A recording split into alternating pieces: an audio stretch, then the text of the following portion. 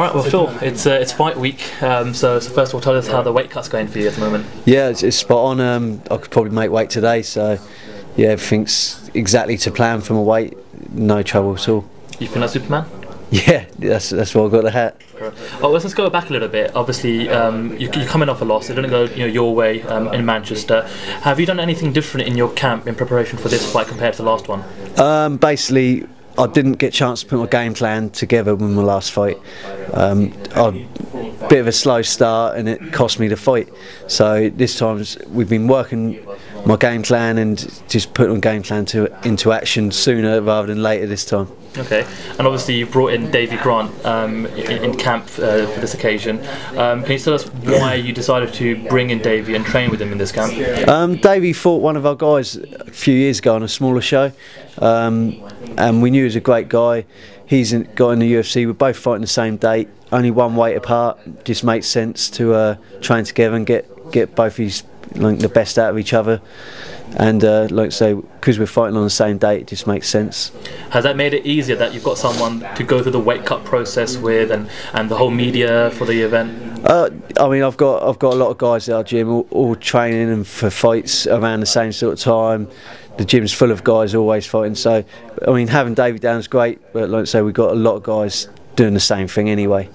Yeah. And can you just talk about, as an Englishman, what it's going to feel like for you to obviously be fighting in the O2 Arena, which is the most prestigious kind of arena to fight in in the UK? Yeah, I mean, I've done a few, I've done a few now, like Wembley, and that, but fighting at the O2 is going to be even bigger again. So, and I'm the first fight on, so that's going to be like uh, for me it's perfect because I know exactly what time I'm on and it's just opening the show at the O2 is is quite a big thing. So yeah it's going to be exciting.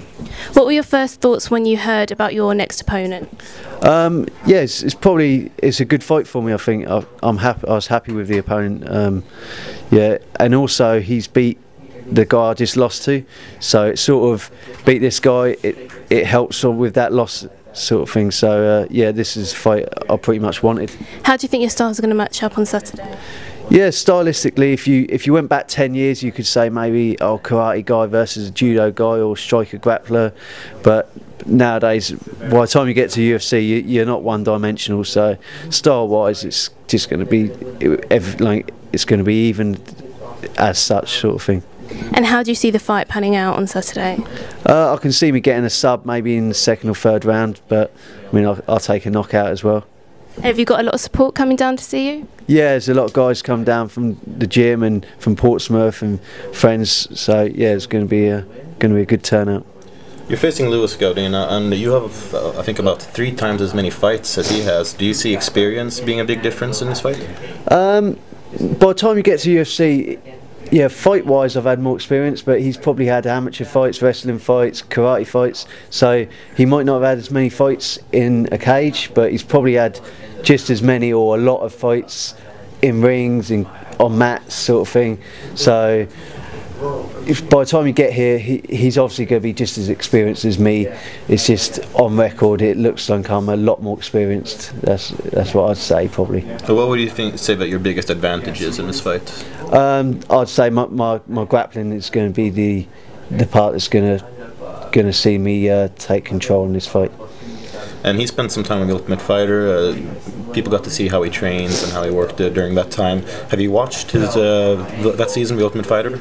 Uh, I'll see it when it come out. because it is uh, Team Bisping, which is obviously another English guy, um, and he was Bisping's first pick, so it'd be it'd be good to beat him, and he and he beat also beat Paul McVeigh, who I fought before as well.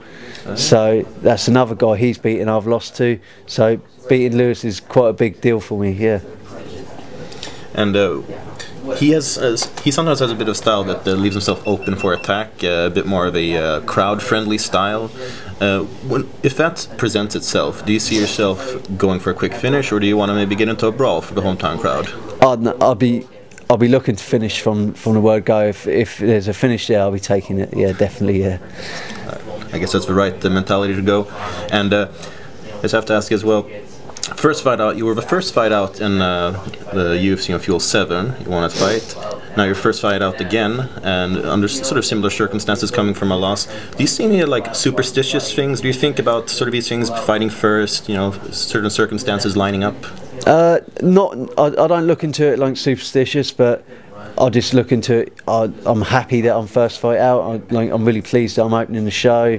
Um, it's London. I've always performed well in London. So all them things, although I'm not superstitious or nothing, it's it's nice to have them feelings rather than oh last time I, I lost in London. No, like I'm thinking last time I won in London. So it's just good feelings, good vibes. So yeah, that that always helps. We saw you downstairs. I saw you downstairs actually, uh, and obviously you're very cordial um, with Louis. Um, does that make it a little bit harder or, or, or, easier in terms of when you've got you know maybe a personal beef with a fighter, or, or if it's kind of easy to fight them and get motivated to fight them?